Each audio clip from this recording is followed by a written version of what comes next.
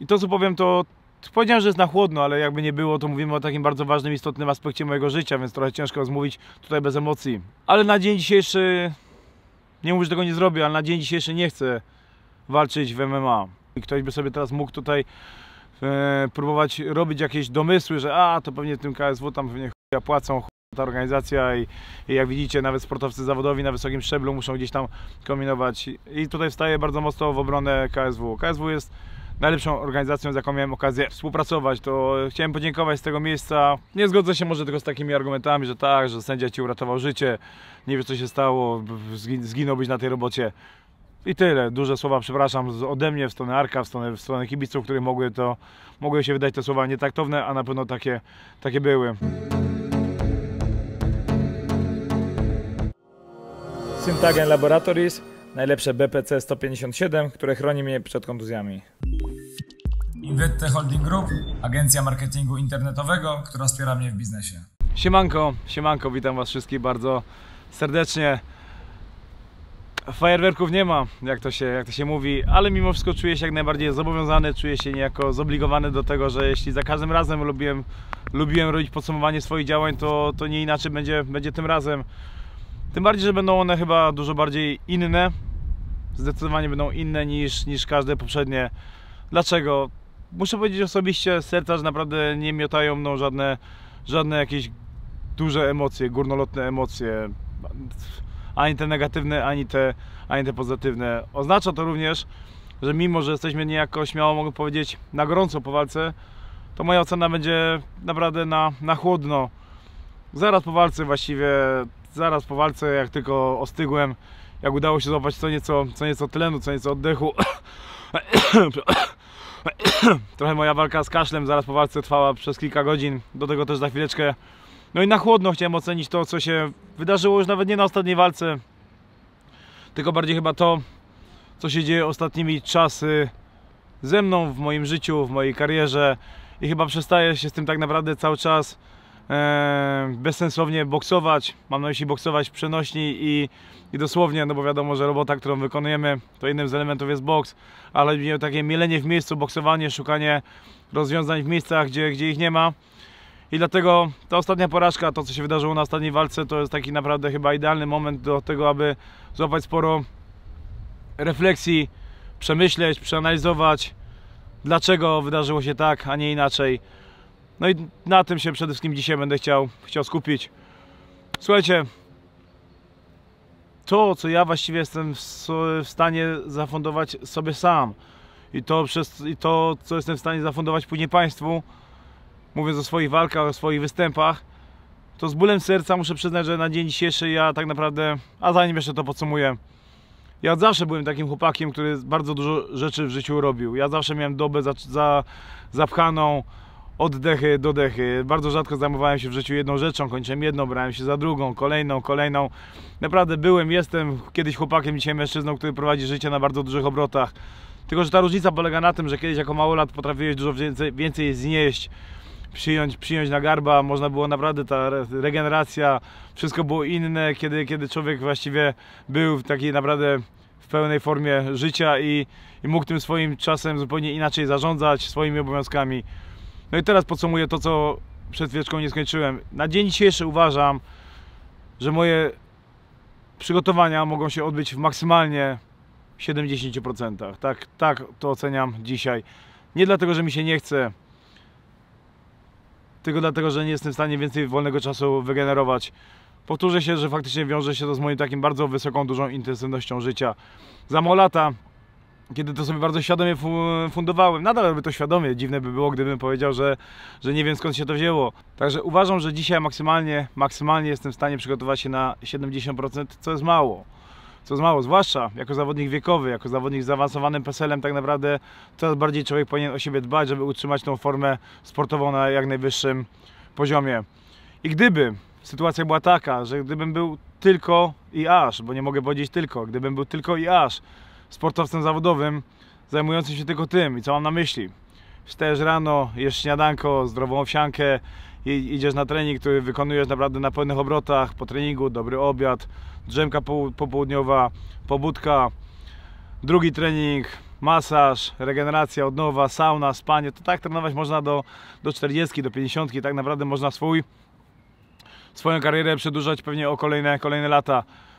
Niestety, ale w moim wypadku tak, tak nigdy nie było. To zawsze było po prostu pełne, na pełnych obrotach życie i z przykrością chyba muszę przyznać, że ostatnimi laty ja tak naprawdę chyba w treningi robię w wolnych chwilach. Te wolne chwile oczywiście są, są zawsze, zawsze je znajdę, żeby ten trening zrobić, bo jest rzeczą przede wszystkim bardzo ważną i świętą, ale umówmy się, przy pełnym wydatku energetycznym, przy pełnym zawirowaniu, lawirowaniu z czasem, to wszystko zaczyna być co nieco zaniedbane.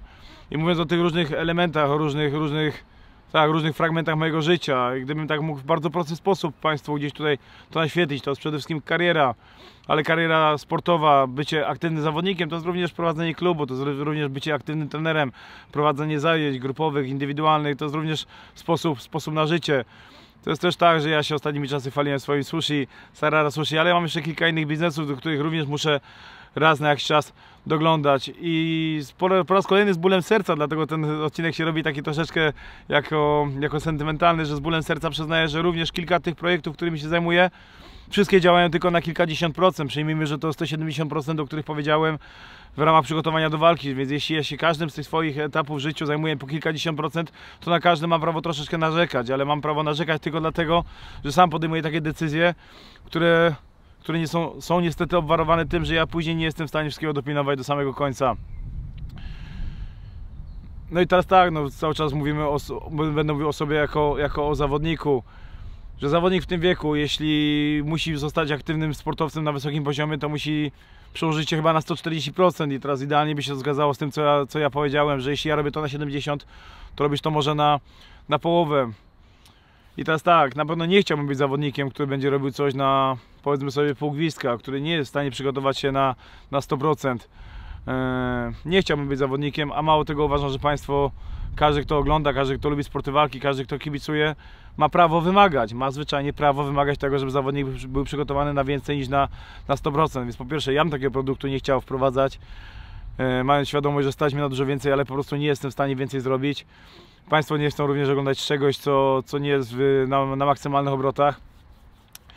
I to gdzieś tam pomalutku wprowadza mnie do tego, żeby podjąć jakąś decyzję, ale spokojnie, żebyście nie pomyśleli, że Tomasz powie, że to już koniec forever, ale powiedzmy sobie, że tak, ta, ta walka, ta ostatnia walka uświadomiła i przybliżyła do tego, że ten koniec, drugi koniec, o którym tak często mówię, zwany końcem kariery, jest dużo bliżej niż się, niż się wydawało ta, ta, ta walka również ostatnia pokazała, że to co się działo ostatnimi czasy w mojej karierze, że w tych ostatnich walkach, kiedy coś, coś nie coś nie szło, kiedy również miałem do siebie pretensje, do tego też za chwileczkę wrócę, do tego dzisiaj podejdę też nieco, nieco inaczej, bo to, bo to nie był przypadek, że od, od, od dłuższego czasu coś z moim organizmem, coś z moją osobą, coś z moją głową może dzieje się innego, że faktycznie najwyższa pora jest to wszystko przeanalizować, przetrawić i, i podjąć jakieś rozsądne decyzje. I to co powiem to, Powiedziałem, że jest na chłodno, ale jakby nie było, to mówimy o takim bardzo ważnym, istotnym aspekcie mojego życia, więc trochę ciężko zmówić tutaj bez emocji. Ale na dzień dzisiejszy, nie mówię, że tego nie zrobię, ale na dzień dzisiejszy nie chcę walczyć w MMA. Umówmy się, że nie polubimy się. Tomasz się nie polubi ze swoimi zapasami, ze swoimi partnerami, które oczywiście muszę powiedzieć tak, ja powiedziałem, że nie, nie polubimy się, ale ja na to również się nie, nie obraziłem. Powiedzmy sobie, to jest długa, długa, droga, ciężka, długa i ciężka droga przez, przez mękę, żeby to opanować na wysokim szczeblu. A ja już tego zwyczajnie nie zrobię. Gdyby moja kariera w MMA miała się rozpocząć kilka lat wcześniej, o pół dekady, o pięć lat wcześniej, to prawdopodobnie wyglądałoby to, by to nieco inaczej. Wtedy z dużo większym zapałem, zaangażowaniem myślę, że podszedłbym do, do nadrabiania tych właśnie elementów, w których, w których mam swoje braki. Ale ja już tego chyba po prostu zwyczajnie nie chcę nie polubiliśmy się do tego stopnia, do tego momentu i to się już nie zmieni, więc gdybym mógł coś podjąć decyzję dzisiaj, ale nie chciałem, żeby mój dzisiejszy wywód był decyzją ostateczną, więc jak widzicie zostawiam sobie pewną furtkę drzwiczki, ale, ale szczerze, biorąc wszystkie za i przeciw i ja jestem gościem, który podchodzi przede wszystkim do rozmów, które są uargumentowane i merytoryczne. I merytorycznie jak na to wszystko patrzę, to chyba była moja ostatnia walka w MMA.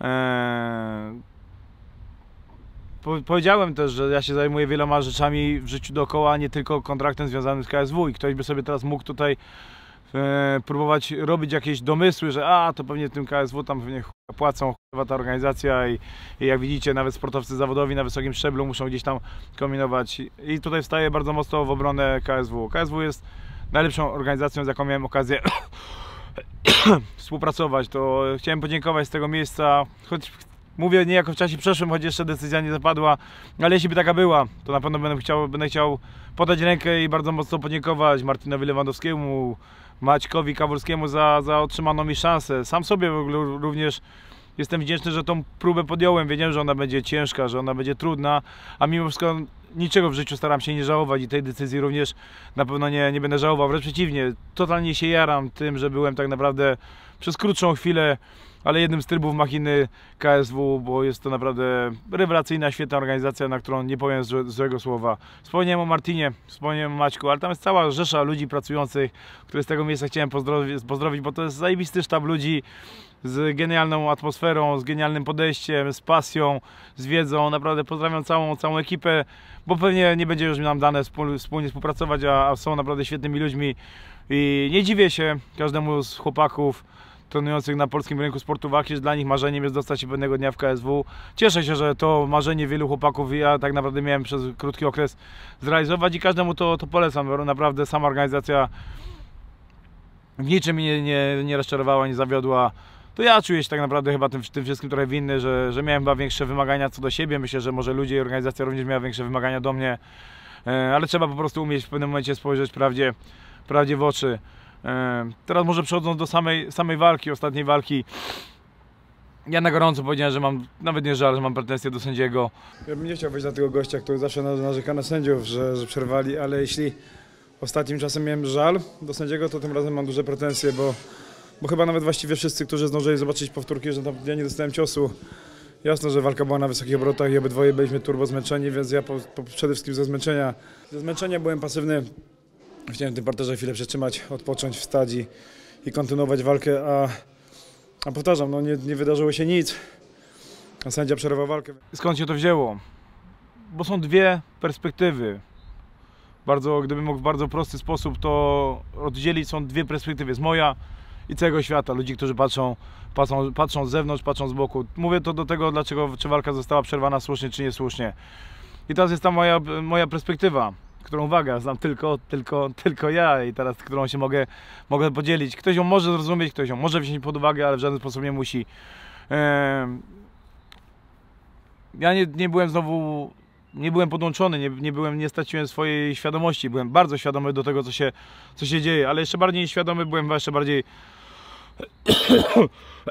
zmęczony. I miałem wrażenie, że nie przyjąłem żadnego specjalnego, poważnego ciosu.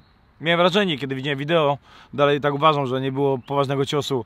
W pewnym momencie na wysokim etapie zmęczenia, nawet te już nie, niegroźne ciosy potrafią na, na przeciwniku zrobić wrażenie. Ale ja się powtórzę, i ktoś może mi wierzyć lub nie, że z ręką na sercu mogę to powiedzieć, że nie czułem się zbity, nie czułem się obity, czułem się bardzo zmęczony. Sam chyba sobie przez chwileczkę włożyłem do głowy, że dobra Tomek, dawaj, chwilę się pobronimy, nie uderzę z parę ciosów, za chwileczkę wracamy. A później widziałem to, to nagranie z boku i to z boku naprawdę mogło wyglądać tak, jakbym, jak nie, jakbym nie był aktywny, jakbym tą walkę oddał, jakby się coś, coś stało. Eee, dlatego, kiedy już to zobaczyłem, to powiedziałem, dobra, sędzia miał argumenty, miał powody do tego, żeby tą walkę przerwać to, na co ja może bardziej liczyłem, że bardzo często w tych moich poprzednich walkach i tak też jest w regulaminie, że sędzia tak naprawdę ma prawo sprawdzić, czy jest kontakt z zawodnikiem. Jest ta komenda w pojedynkach międzynarodowych, fight back, wróć do walki, Tomek, fight back, zrób coś, zareaguj. Chcę wiedzieć, czy mam z tobą kontakt, czy tu już odjechałeś, czy odpłynąłeś. Może na to liczyłem. Sędzia mógł, może mógł, ale nie musiał też tego robić, przerwał walkę. To ją przerwał. Żałuję bardzo, bo właściwie ta walka szła naprawdę dobrze. Było ok. E, ale nie skończyło się tak jak chciałem i nie chcę tego w żaden sposób roztrząsać. Gratulacje dla, dla, dla Erola, bo tą walkę wygrał. Dał powody sędziemu, żeby tą walkę mógł przerwać i ją przerwał. E, nie zgodzę się może tylko z takimi argumentami, że tak, że sędzia ci uratował życie, nie wiesz co się stało, zginąłbyś na tej robocie. No może właśnie ja mam podejście bardziej takie właśnie mentalnego fightera niż, niż sportowe, bo, bo faktycznie chyba dopóty, dopóki nie straciłbym świadomości, dopóki nie straciłbym chyba zdrowia, to pewnie do końca chciałbym się bić, ale to jest sport.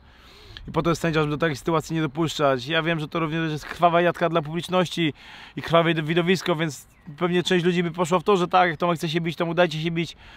I pewnie dalej bym chciał, gdyby to zależało ode mnie, ale nie zależało ode mnie. Jest regulamin, do którego trzeba się umieć dopasować, trzeba, trzeba go uszanować. I stało się, jak się stało.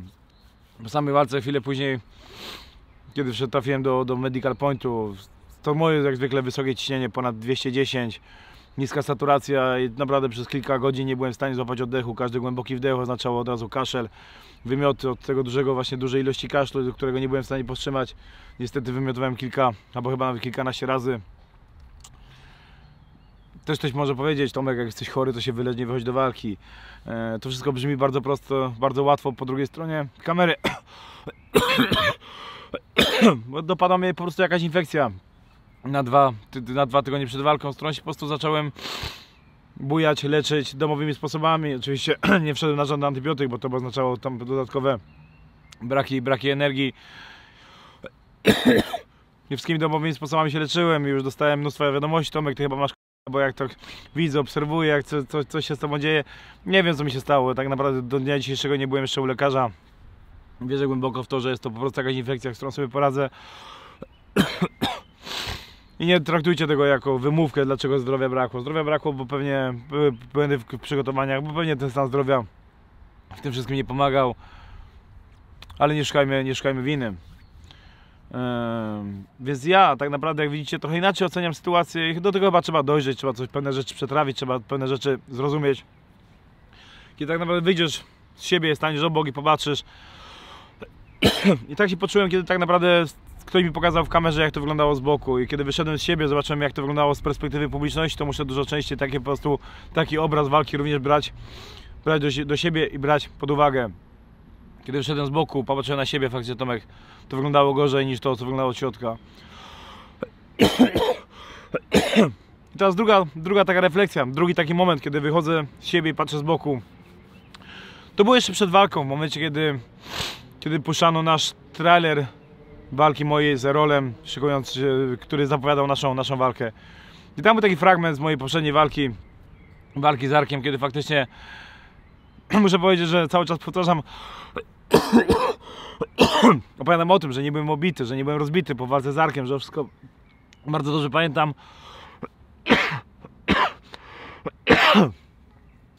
Mać z tym Harleniem. I muszę powiedzieć, że nawet jeśli pamiętam, to pamiętam jak za mgłą i dopiero kiedy zobaczyłem to na trailerze, sobie to wyraźnie przypomniałem. Tam był taki naprawdę zajebisty moment, kiedy Arek podnosi moją rękę w geście zwycięstwa, mimo że to ja byłem tym pokonanym i oddał mi w tym wszystkim bardzo dużą, bardzo dużo szacunku takim właśnie zachowaniem. I wtedy pomyślałem, tak jak ty- ty- typowy gość, który wychodzi z własnej skóry, staje, staje obok. Kurczę. Wtedy również poczułem się tak po raz drugi, abym wyszedł z własnego ciała, stanął obok i popatrzyłem, patrzyłem na coś z boku, patrzyłem na siebie z boku, patrzyłem na zachowania, które towarzyszyły nam w, tej, w trakcie tej walki. I powtórzę się, że taki gest ze strony Arka był naprawdę oznaką dużego szacunku. I wtedy so- sobie również zrozumiałem, wtedy sobie uświadomiłem, wtedy zrozumiałem chyba tak naprawdę, że to co powiedziałem na temat walki z Arkiem zaraz po jej zakończeniu było zwyczajnie niesłuszne, że, że jak tak patrzyłem na siebie i tak na te, na te zachowania i sobie sam w głowie pomyślałem, "Kurwa, patrz, gość się zachowuje z klasą, a zachowuje się jak kurwa turbo wieśniak, który gdzieś tam nawet, nawet krzyczy, woła. E, I mimo, że naprawdę ja cały czas nie chciałem w tym wszystkim Arkowi ująć, nie chciałem go w żaden sposób obrazić, to chyba tak wyszło, z taką moją totalną nieświadomością. No i również wyszła wy- najlepszy moment do tego, żeby skoro Tomek, Tomek czuje się z tym źle, uważa, że czegoś nie być, być nie powinno, to co, należy przeprosić, więc ja w swoim imieniu właściwie chyba e, od siebie do publiczności, do samego Arka, bo na pewno było tam rzeczy, które się po- pojawić nie powinny, niektóre hasła, e, nawet jeśli mocno, w siebie wierzysz, nawet jeśli próbujesz czymkolwiek motywa, motywować, to zachowaj się tak, jak sytuacja tego wymaga, więc ode mnie również duże słowa przepraszam za, za to, co się wydarzyło, uświadomiło mnie to, co się wydarzyło na ostatniej walce. I tyle, duże słowa przepraszam ode mnie w stronę Arka, w stronę, w stronę kibiców, które mogły to, mogły się wydać te słowa nietaktowne, a na pewno takie, takie były.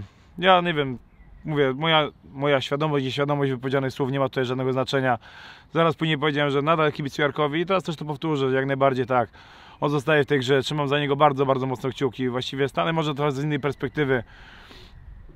Ja również nie wiem, Arka bardzo lubię, tak mu mocno kibicuję, że dzisiaj właściwie bardziej nie jako jego e, konkurent, jako jego przeciwnik w, oktagonie, tylko jako jego kolega bardzo, kolega bardzo chętnie bym mu jak najbardziej pomógł w tym, żeby wzmocnić jegokolwiek przygotowania, może udostępnić trochę swojej wiedzy stójkowej, bo myślę, że mógłbym mu co nieco podpowiedzieć i, i tak bym mógł to na dzień dzisiejszy pod, podsumować.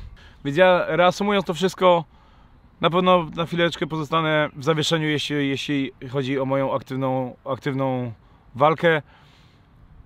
To, co bym mi się, co bym chciał, z czego bym nie chciał rezygnować, to jest jakaś dobra walka jeszcze w K1, w kickboxingu. Uważam, że tam, o, właśnie wiem, do czego chciałem to powiedzieć.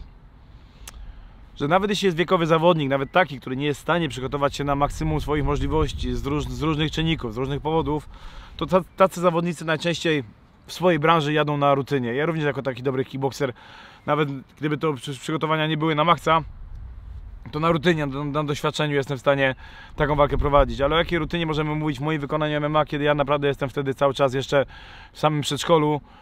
No i dlatego decyzja, jeszcze mimo, że chyba nie jest ostateczna, to jestem mniej coraz, coraz, coraz bliżej. Jest bardzo dużo przestrzeni w sporcie, gdzie można się odnaleźć. Ja się tam widzę, ja, ja coś tam rychle szykuję i mam nadzieję, że na pewno będziecie z tego Państwo bardzo zadowoleni. E, ale poproszę Was wszystkich o chwilę cierpliwości. Na pewno będziecie bardziej zadowoleni z tego, z tej nowej pozycji, którą przyjmę, niż taką, którą, że powiem, że wracam jeszcze raz do, do walki, do MMA, że nadrabiam swoje, swoje umiejętności, których, których mi brakowało.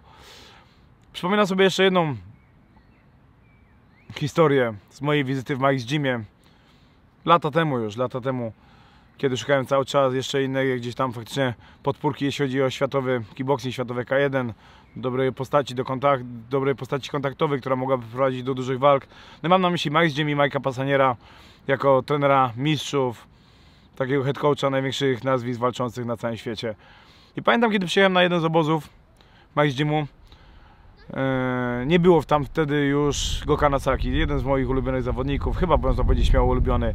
I pamiętam, że zapytałem Majka swojego czasu, mówię Mike, what's going on with, with Gokan, what's happened with Gokan? I on tak na mnie popatrzył, zanim mi odpowiedział, to chyba wziął taki jeszcze głęboki oddech i powiedział Tomas, life's happen. I to wtedy dla mnie było takie jeszcze chyba niezrozumiałe, a dzisiaj jest bardzo, bardzo czytelne. Życie się stało z Gokanem, tak jak podobnie życie, z, życiem się zderza Tomek Sarara, z życiem musi się zmierzyć każdy.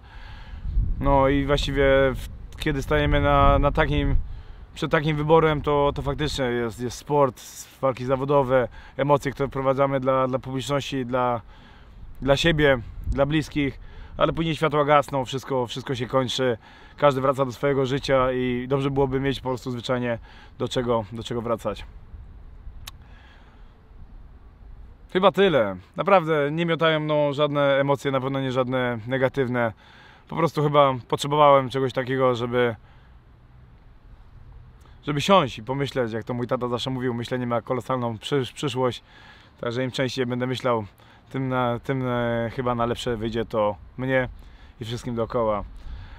Słuchajcie, skoro wygląda na to, że będę miał trochę więcej czasu, to myślę, że coś więcej też ponagrywamy, pojutubujemy, wrócimy do, do tego typu formatów odcinkowych. E, mimo, że to jeszcze nie jest koniec kariery, bo będę chciał coś szarpnąć, to naprawdę ja z dużą dumą zawsze odwracam się za siebie i patrzę jaką drogą, drogę pokonałem i, i takim obrazem chciałbym, chciałbym żyć cały czas, takie coś chciałbym mieć przed oczami. Nie chciałbym nigdy w życiu się rozmienić na, na drobne, próbować robić coś na siłę. Yy, I tak też, i tak też, i tak też stanie. Mało tego, ja nigdy nie byłem, nie jestem i nie będę osobą, która gdzieś tam jest malkontentem, narzeka. Ja zawsze byłem, jestem i będę osobą emanującą dużo pozytywnej, pozytywnej energii i w ogóle nie mam zamiaru się z kimkolwiek tutaj sprzeczać, kłócić, przekonywać do swoich racji. Ja jak najbardziej rozumiem dzisiaj, rozumiem też to, że każdy ma prawo do swojej opinii, nie każdy przy swojej zostanie. Ja mam swoje, za wiele rzeczy muszę, do, z wieloma rzeczami muszę się zgodzić, za wiele rzeczy muszę przeprosić.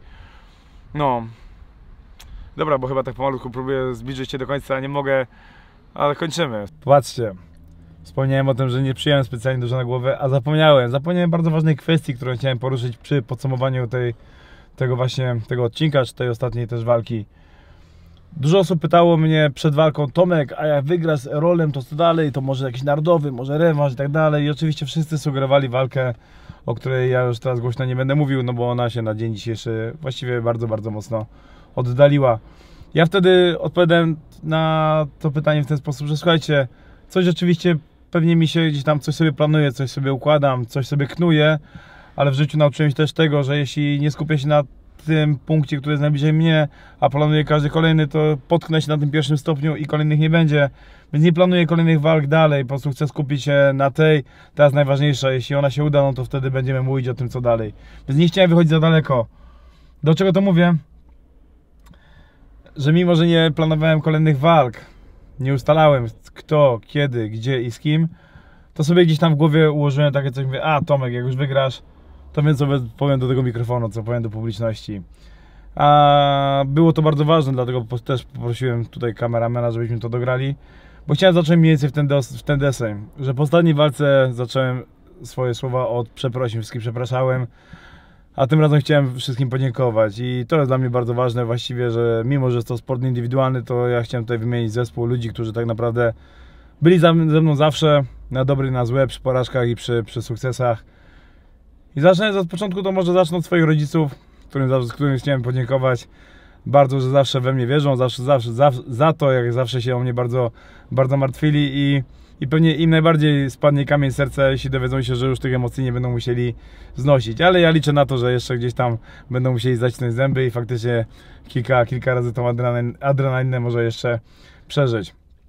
Lecą dalej, to wchodzę do swojej trochę dalszej rodziny, że tak powiem, chodzi o mój, o mój team. No i tutaj może zacznę od Tomka Mamulskiego i skoro mówimy o takich fakcie rodzinnych terminologiach, to bardzo często Tomka już nazwałem takim swoim drugim ojcem, na którego w ciemno mogę liczyć. I, i tak, na pewno będzie to Tomek Mamulski, na pewno będzie to Norbert Saba, operacja, ksywa operacyjna Divi, e, który tak samo jest moim przyjacielem i który również bardzo mocno zaangażował się w to, aby, aby te przygotowania poszły jak najlepiej, który naprawdę wielokrotnie mnie motywował, Tutaj jeśli mogę udzielić takiego, takiej różnicy między Tomkiem a, a Divim, to jest taki dobry zły policjant. To Divi jest ten zły policjant, który jak trzeba to na mnie huknie, krzyknie i czasem naprawdę skarci i wyprostuje do, do odpowiednich zachowań w trakcie, w trakcie przygotowań. Mateusz Nowak, jako osoba, która zawsze trzymała nad, e, pieczę nad, e, nad moimi przygotowaniami motorycznymi. Dominik Olszewski, który zajął się moimi elementami parterowo-zapaśniczymi i świetny, metodyczny trener, który bardzo mocno poszerzył moją świadomość tego, jak mamy się zachować, przygotował odpowiedni plan i tylko po mojej stronie należy to, na ile został wykonany dobrze lub niedobrze. Chciałem również podziękować sponsorom, bo jest to nieodłączna część gry. Gdyby nie sponsorzy, to faktycznie ta kariera również pewnie skończyłaby się dużo, dużo wcześniej. I przy okazji tej walki chciałem pozdrowić, podziękować krakowską grupę deweloperską. Ja mimo że nie wykonałem planu sportowego, to będę chciał nadal wywiązać się ze wszystkich swoich zobowiązań marketingowych. O tej firmie już Wam wspominałem co nieco na moich mediach społecznościowych, w relacjach na, na, na Instagramie. Takie pewnie się powtórzą, do, do takich również Was za, zachęcam, bo jest to temat biznesowy, zarobkowy i każdy, kogo by takie coś interesowało, to jak najbardziej zachęcam się z tym bliżej zapoznać. Krakowskie, e, to była krakowska grupa deweloperska, KFG, Krajowy Fundusz Gwarancyjny, to też są ludzie, którzy ze mną są. Możecie zobaczyć moje walki, ten logotyp zawsze powtarzał, bo są to ludzie, którzy wiernie przy mnie trwają. Przy okazji tej walki również firma Syntagen BPC 157, które chroni mnie przed kontuzjami, ale to już dobrze wiecie. No i Sara Rasushi, jak kiedyś będziecie w Krakowie, zapraszam serdecznie do Hali Forum. I tyle. Było to może dla większości was, dla was może niepotrzebne, dla mnie bardzo, bardzo istotne, bardzo potrzebne co? Jeszcze raz dziękuję.